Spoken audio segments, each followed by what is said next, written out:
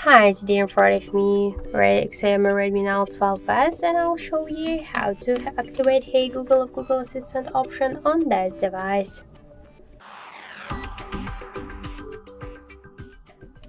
So first we should launch Google application, then tap on the right upper corner and go to the settings, then click to voice section and tap to voice match.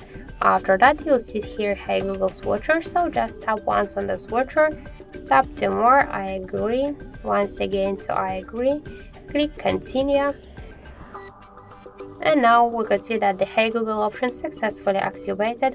And assistant to recognize your voice you should add your voice model. So click to retain voice model and say okay Google what's the weather tomorrow? Okay Google set a timer for 5 minutes Hey Google make a call. Hey Google remind me to water my plants every Monday. Then just tap to finish and now when you'll say just ok google or hey google you could see that this option successfully activated.